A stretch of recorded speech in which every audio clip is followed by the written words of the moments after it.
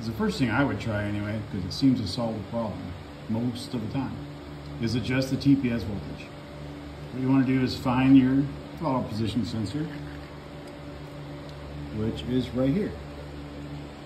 I'm going to slide this boot off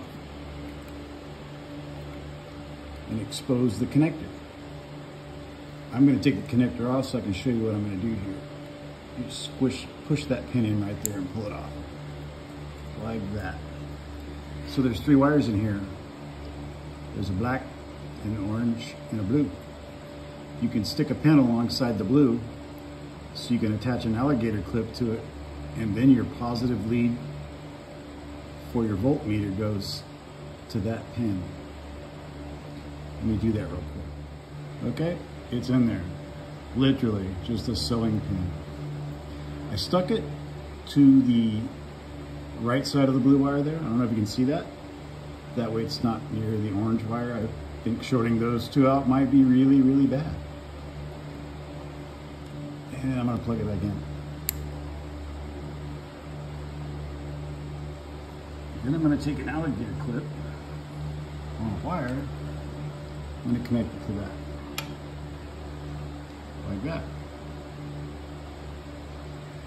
Then, the other end of the alligator clip, way down here, I'm gonna connect to this. So stand by. I only have one here. Okay? So we're hooked up. Make sure that doesn't short out to anything metal on the bike. I mean, things could really go sideways. I'm guessing. I don't want to find out though. Take your voltmeter, put it on DC volts. DC, not AC. Your other lead, you can touch to anywhere on the bike that's going to be a ground. Notice there's nothing, which is the way it should be. So you'll want to come up here, switch in the run position, key on. Come back down here, ground this to your engine, check your voltage. So mine, I set it 0.70. Right now it's 0.696. So maybe when I tightened the Torx down previously, uh, it adjusted, it affected the adjustment a little bit. So now let's find the Torx and let's bump it up to 0.71. Okay, we're back.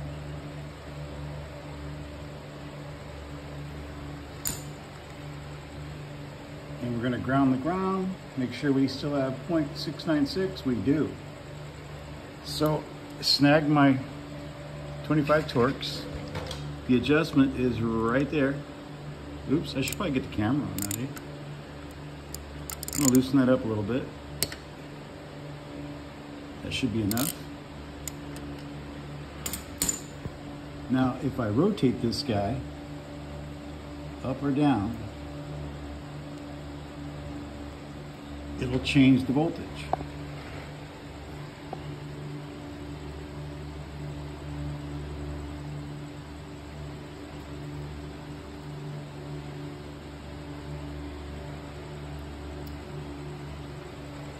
So I moved it all the way and it's 786. I want to go for 0.71, so I'm going to move it a little bit here.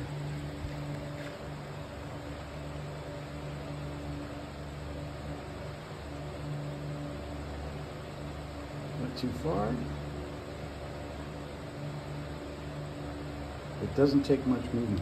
So I'm grabbing this right here and I'm sliding it up and down. It pivots like this. The torque locks it down. So we're at 0.713. I think I'm gonna go with that. I'm gonna tighten the Torx down.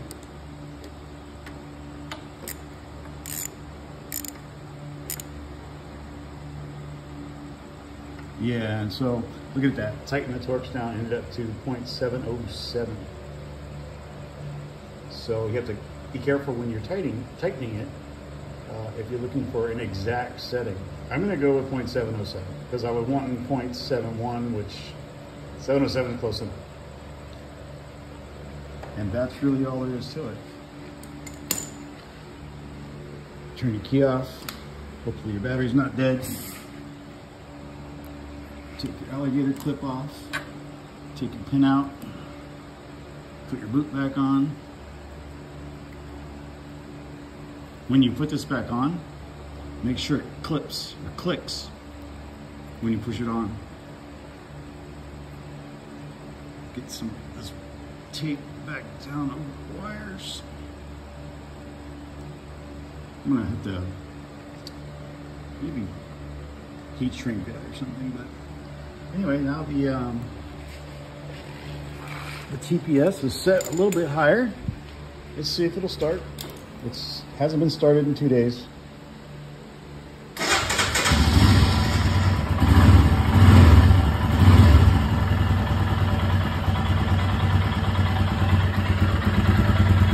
My idle's a little low, but I have a feeling it'll keep going.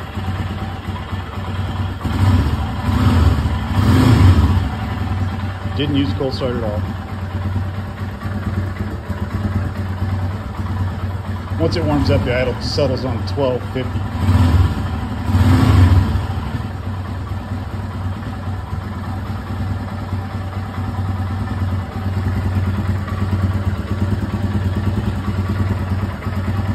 Sounds good to me. So of course, you know, that's really all there is to adjusting the TPS voltage. Um, and we have to throw in the disclaimers. Don't blow your bike up. Doing something wrong, shorting out something, or probing that connector, you know, and shorting two wires in there. Just pay attention to what you're doing. It's not hard, but just pay attention. And then you too can have a Himalayan that doesn't have a cold start issue. Anyway, hopefully this video helps someone somewhere that's really frustrated with their cold start. You guys ride safe and thumbs up if you like it. See you later.